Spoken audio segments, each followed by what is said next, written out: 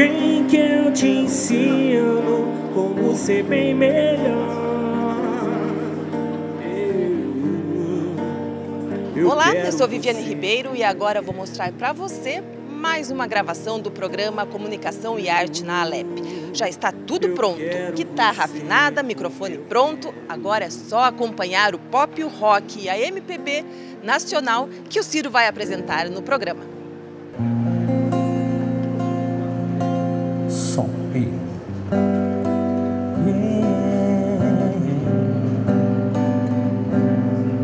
A apresentadora do programa, Dani Fogaça, faz a abertura e logo as pessoas se aproximam para acompanhar o show. Ó oh, meu bem, acredite no final feliz. Olha quem eu encontrei aqui assistindo ao show, mas o deputado Recalcate também tem aqui o gabinete na frente, sempre acompanha aqui a, a, gravação do programa. O que, que o senhor acha? Acha que realmente vale a pena parar um pouquinho para ouvir? Vale a pena sim. Nós vivemos um dia a dia bastante, muito intenso, na verdade, como deputado, e de repente você ouve uma música e eu tenho o privilégio do meu gabinete estar aqui na frente, né? Então eu acompanho todas as apresentações que acontecem aqui isso é muito importante, a gente relaxa um pouco quando você sai, além de você ouvir a música, ver os cantores ou o cantor, você encontra aqui os amigos, as pessoas, como eu te encontrei agora, né? Prazer tê-lo aqui. Vamos assistir um pouquinho então aqui a gravação do programa?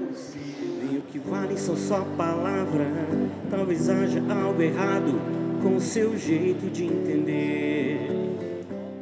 O sucesso do programa está cada vez maior e já atrai não só servidores da casa, assessores parlamentares. Está gostando? Tô, nossa.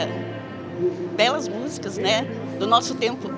Eu vim exclusivamente para ver o Ciro cantar. E está gostando?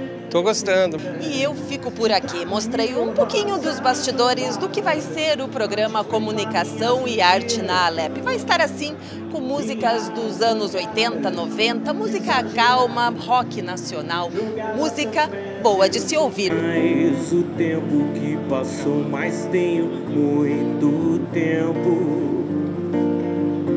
Temos todo o tempo do todos os dias antes de dormir. Lembro, esqueço como foi o dia. Sempre em frente, não temos tempo a perder. Nosso suor sagrado.